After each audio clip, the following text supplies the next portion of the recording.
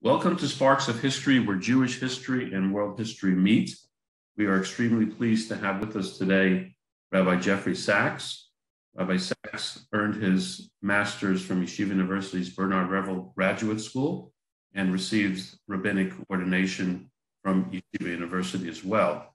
Rabbi Saks is an extremely popular educator, lecturer, and writer.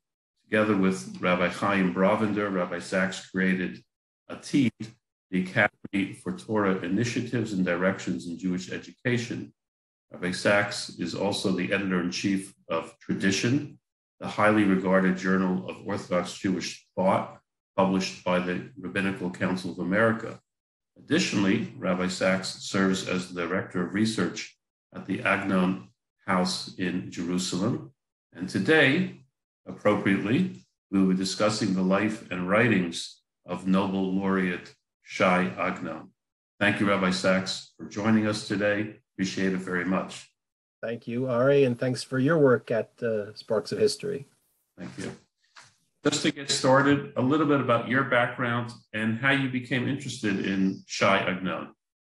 Oh, well, that's a, a, a long and probably less interesting story for our listeners, uh, which I've told many times. And the interesting thing is that it never comes out uh, the same way twice. But the the short the short answer is that uh, I came in Aliyah in the early mid '90s, and uh, I had grown up in suburban New Jersey in a home that was not uh, Jewishly observant, although it was uh, obviously culturally Jewishly connected. And in my kind of uh, journey towards uh, Jewish observance, among the very many things that I had encountered in uh, Jewish life and Jewish learning and Jewish literature were the writings of Shai Agnon in, in translation, obviously. I could not have then read him in the original Hebrew. And it, uh, it enchanted me what he was what he was writing in the few stories that were then available in in translation.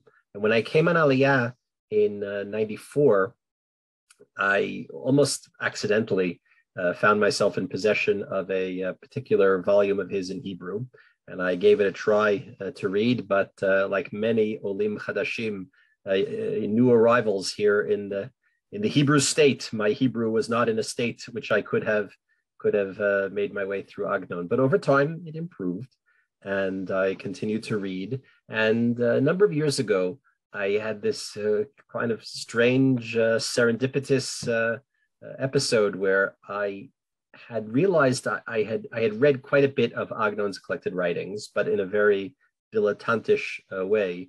And I, I, I, had the idea that you could do the whole thing. You could read the whole of uh, Shai Agnon's writings.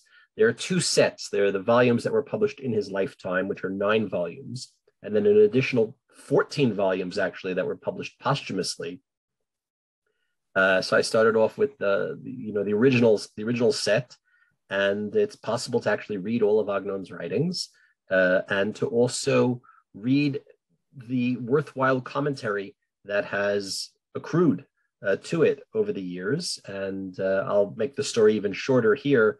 At a certain point, I somehow became recognized as someone who had something interesting to say about Agnon's writings, and I started uh, teaching here at the Agnon House. I'm sitting, uh, you know, in the Zoom virtual reality of Agnon's library, which is in the Talpiot neighborhood of, of Jerusalem. But I began uh, an involvement here at this institution, which is uh, the, the home in which he lived from 1931 until his death in 1970, and where he wrote, you know, very, very many of his uh, of his prize-winning uh, stories and novels.